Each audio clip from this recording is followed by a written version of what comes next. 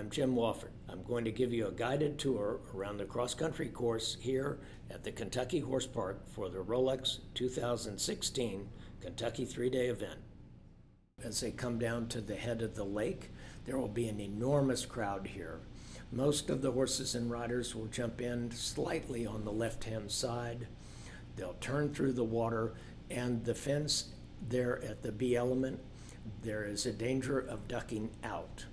Here you see a cabin at 11B, which means that the horse and rider can go a long way around and jump slightly simpler fences.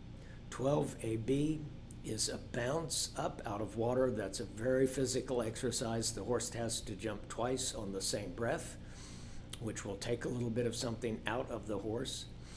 We're at another signature fence on the course, the hollow 16A, B, and C. Once again, the course designer is encouraging the horse and rider to gallop forward and jump very, very narrow jumps off a forward stride.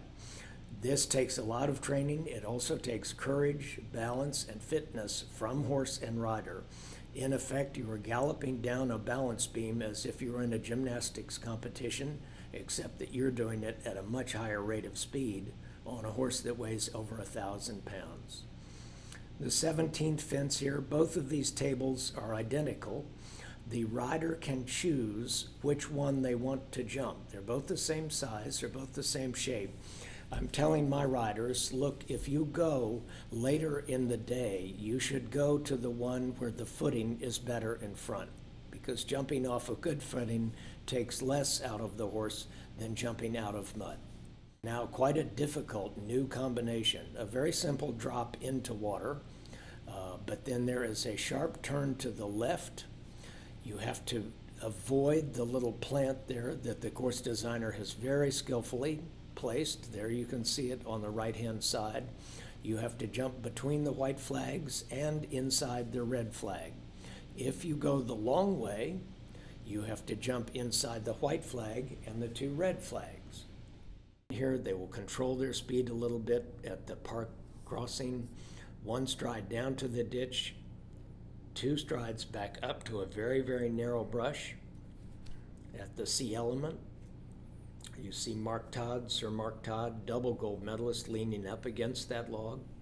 Erik Duvander here in front, Jock Paget, and Blyth Tait, another gold medalist for the New Zealand team, walking across the ditch.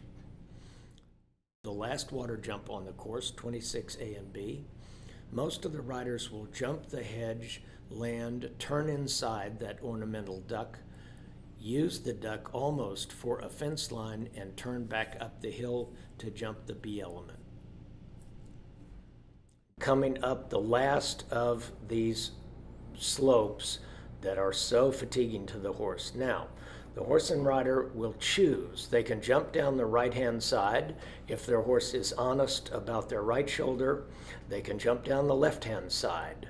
But the premium here is on the rider knowing their horse's strengths and weaknesses.